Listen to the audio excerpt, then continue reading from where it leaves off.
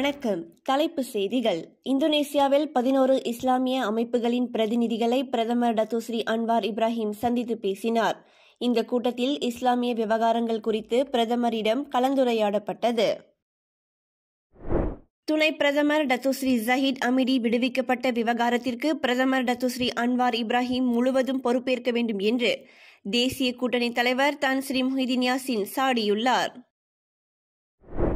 ஜவுளி பொற்கொள்ளர் முடித்திருத்துவது உள்ளிட்ட மூன்று இந்திய பாரம்பரிய தொழில்துறைகளுக்கு பணியமர்த்தப்படும் அந்நிய தொழிலாளர்கள் எண்ணிக்கை இந்த வெள்ளிக்கிழமை நடைபெறும் அமைச்சரவைக் கூட்டத்தில் தீர்மானிக்கப்படும் என்று மனிதவள அமைச்சர் வி. சிவகுமார் தெரிவித்துள்ளார். தேசிய விளையாட்டு தினம் வருகின்ற அக்டோபர் மாதம் பதினான்காம் தேதி நடைபெறும் என்று இளைஞர் விளையாட்டுத்துறை அமைச்சு அறிவித்துள்ளது. தேசிய விளையாட்டு தினத்தை முன்னிட்டு மாவட்ட மாநில மற்றும் தேசிய ரீதியில் பல்வேறு நிகழ்ச்சிகள் ஏற்பாடு செய்யப்பட்டுள்ளதாக இளைஞர் விளையாட்டுத்துறை அமைச்சின் பொதுச் செயலாளர் கே. நகுலேந்திரன் தெரிவித்துள்ளார். வெள்ளை அரிசியின் கையிருப்பு தொடர்பான விவகாரம் இன்னும் ஒரு மாதத்தில் தீர்க்கப்படும் என்று வேளாண்மை மற்றும் உணவு பாதுகாப்பு துறை அமைச்சர் டத்துஸ்ரீ முகமது சாபு தெரிவித்துள்ளார். இந்தியாவின் பெயரை பாரத் என மாற்றம் செய்யும் மசோதா நாடாளுமன்ற சிறப்பு கூட்டத்தொடரில் தாக்கல் செய்யப்பட உள்ளதாக தகவல் வெளியாகியுள்ளது.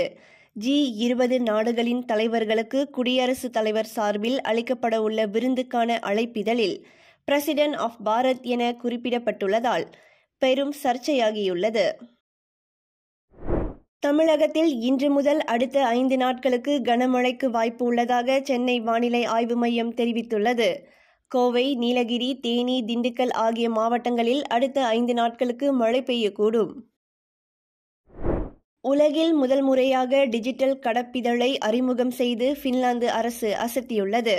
விமான நிலையங்களில் பயணிகள் காத்திருக்கும் நேரத்தை டிஜிட்டல் கடப்பிதழ் குறைத்துள்ளதாகவும் பயணிகள் எளிமையாக பயணம் செய்ய முடிவதாகவும் அந்நாட்டு அரசு அறிவித்துள்ளது. இசை அமைப்பாளர் Arish ஜெயராஜின் arts of Arish five point O இசை நிகழ்ச்சி பினாங்கு மாநிலத்தில் நடைபெறவுள்ளது. இது குறித்த கூடுதல் விவரங்கள் விரைவில் அறிவிக்கப்படும் என்று மாலிக் ஸ்ட்ரீம்ஸ் நிறுவனம் தனது சமூக வலைதளங்களில் அறிவித்துள்ளது. பதிமூன்றாவது ஐம்பது ஓவர் உலகக்கிண்ண கிரிக்கெட் போட்டிக்கான டிக்கெட்டுகள் கள்ளசந்தையில் விற்பனையாகியுள்ளது. சென்னையில் நடைபெறவுள்ள இந்தியா ஆஸ்திரேலியா போட்டிக்கான டிக்கெட்டுகள் ரூபாய் அறுபத்தாறாயிரம் முதல் ரூபாய் ஒரு லட்சத்து அறுபத்தி ஆறாயிரம் வரை கள்ளச்சந்தையில் விற்பனையாகியுள்ளது.